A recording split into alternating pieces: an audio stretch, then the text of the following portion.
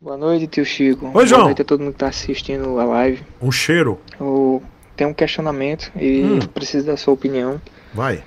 Desde já, muito obrigado pelas suas opiniões que Beijo, lindão. disponibiliza para todos nós que gostamos desse mundo das duas rodas. Obrigado. acompanho o seu canal desde quando você tinha um pouco mais de 50 mil inscritos Eita. e venho Legal. acompanhando desde então. Obrigado, lindão. É, o questionamento é que eu quero comprar uma moto para rodar na cidade, Hum. de baixa cilindrada mesmo. E eu estou numa dúvida entre a Factor 150 e a DK 160. Hum. Sendo que a Factor 150, aqui na minha região, ela está custando cerca de 16.450 Uhum. e o vendedor disse que tem um prazo de entrega de 30 a 60 dias, Certo. porque tem a, a fila, né? Uhum. E eu tô com meu pé, meio com o pé atrás porque, segundo alguns relatos né, que eu vi na internet, ah, essas motos estão apresentando ferrugem cedo. E eu moro É verdade. aqui numa região litorânea, né? É verdade. Eu fico meio in- inseguro em relação a isso. Isso é um fato. Em relação à questão do, do acabamento em si da moto. Até o senhor falou nos vídeos aí recentes que a Yamaha não tá com acabamento bom, Nunca teve, recente. Pedro. João. Pedro. E isso gera uma preocupação, né? E a outra que eu estava já estudando há um tempo seria a DK 160. Sendo que aqui em Natal não tem concessionária dessa moto. A concessionária mais próxima é em Caicó, que é aqui no Rio Grande do Norte também, e em Campina Grande, na Paraíba. O valor dela é, é 15.900, com frete de 600 reais, ficaria 50 reais mais cara do que a, a Factor 150. Sendo que o ponto negativo é que bem possivelmente eu não teria como fazer as revisões dela na concessionária devido à questão da distância.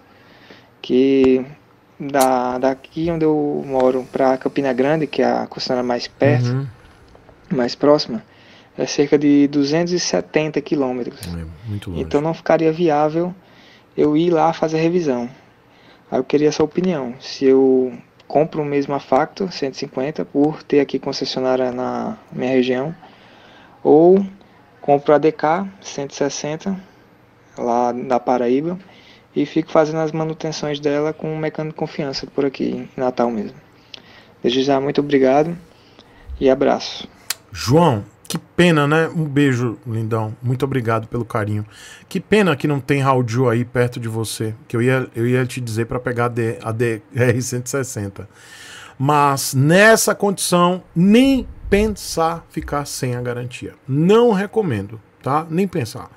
Você está comprando uma moto que pode ter problemas, eu não vou fazer isso com você. Então vai de Factor 150 e sempre acompanhado de uma garrafa de WD, tá? WD 40, não é isso? WDzinho 40, vai aí na Ferreira Costa, compra ou numa loja qualquer, compra aquele aquela lata e use com sabedoria, né? Nada de ficar dando banho de WD, sempre passando no aro, nas partes metálicas, sempre, cara, sempre. Lavando a moto a cada no máximo 15 dias, passando sempre o WD, tá? Você vai manter a moto legal. Factor 150, pode comprar, moto durável, moto boa e é inferior, sem dúvida inferior à DR-160, mas você vai ter uma moto muito boa também, tá? E a questão do- da ferrugem é real, tá? É real, é verdadeira. Então compra e sempre o WD. Eu tenho WD aqui, então eu também moro em cidade litorânea, mas você não vai comprar uma moto ruim não, tá? Você vai comprar uma moto muito boa, tá bom, João? Pode comprar. Compra a Factor, nada de comprar DR 160 a 270 km de distância e perdendo a garantia. Tá bom? Beijo.